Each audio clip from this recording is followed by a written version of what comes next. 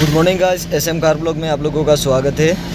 मेरा पास Maruti Suzuki Alto L X I variant है 2021 model तो आज का इस वीडियो में बात करूँगा कि ये गाड़ी ज़ीरो से हंड्रेड का स्पीड में कितना टाइम लेती है और कितना समय लगता है, ठीक है? उसका पिकअप कैसा है ब्रेकिंग कैसा है? ज़ीरो से हंड्रेड करके हम लोग देखूँगा। और वीडियो में बने रहना कि इमरजेंसी में अगर आपको कोई भी जगह में कार चलाना पड़ा तो कैसे चलाता है, ठीक है? आप ज़्यादातर हॉर्न का यूज़ करना पड़ेगा आपको। मैंने पाँचवा गियर में कार को शिफ्ट कर दिया। ये देखिए मैडम, बिना हेलमेट से ही चल रहा है। जो भी हो, अभी देखिए, मैंने मतलब सीट बेल्ट लगा लिया और कार भी स्टार्ट हो गया मेरा पाँचवा गियर में कार है और अभी हम रेस कर रहे हैं, ठीक है? क्योंकि ज़्यादातर आपको हॉर्न का यूज़ करना पड़ेगा। आप उधर उधर ज़्यादा मत देखे म्यूज़िक सिस्टम स्लो कर ले, ताकि आपको बाहर का जो आवाज़ वगैरह है, सब कुछ मिल सके। बहुत आदमी को हॉर्न का ये आवाज़ जो है पसंद नहीं है बट क्या करें, मेरा आदत है क्या इससे मेरा ही मैटर है, हम कर सकता है, ठीक है?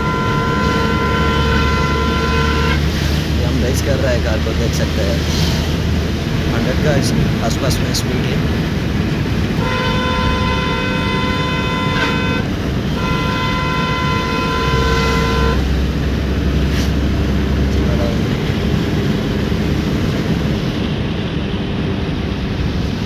नया कोई बिगनर भाई ऐसा मत चला है, क्योंकि कार ज़्यादा हल्का है, हल्का दुबला है, वो आप कंट्रोल कर नहीं पाओगे, इसीलिए आराम से उसे प्यार से चलाए।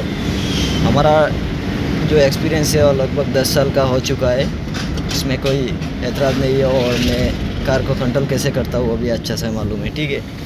आप लोग मेरी तरह ना करें, जो सीनियर है, वो कर सकता है बट जूनियर जो है, वो आप ना करें। आराम से अपना जान को भी सेफ़ रखें, और खुद भी सेफ़ रहे, ठीक है? दूसरा को भी सेफ़ रखें। वही सबसे बेटर रहेगा। ठीक है? तो अभी हम अपना लोकेशन में पहुँच चुका हो।